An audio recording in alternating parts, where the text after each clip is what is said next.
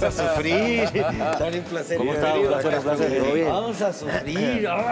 Eh, la novela de la tarde es ligerita, es juvenil y se titula Amo despertar contigo. ¿Qué ha pasado ahí? Pues Federico descubre que Maya está embarazada. Pero el cigüeñazo, por más que lo oculten, sale chillando y primero se nota la pancita, ¿no? Pues si no hay manera ¿Qué? de ocultar un No, embarazo. ¿verdad? ¿Cómo lo ocultas? No, pues no. Pues mudándote de casa. No, pues. Huyendo del país.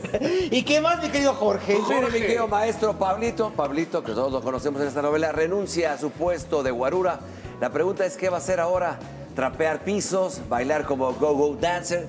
Creo que sí. Pues corre video. Antonia Santamaría y su socio Pablo Leal son las personas más deshonestas que he conocido en toda mi vida. Se metieron en mi vida con engaños.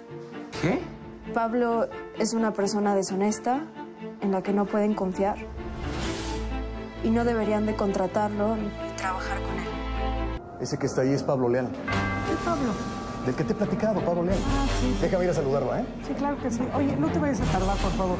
Pero mira nada más a quién tenemos aquí. Al mejor floricultor del país. Del país.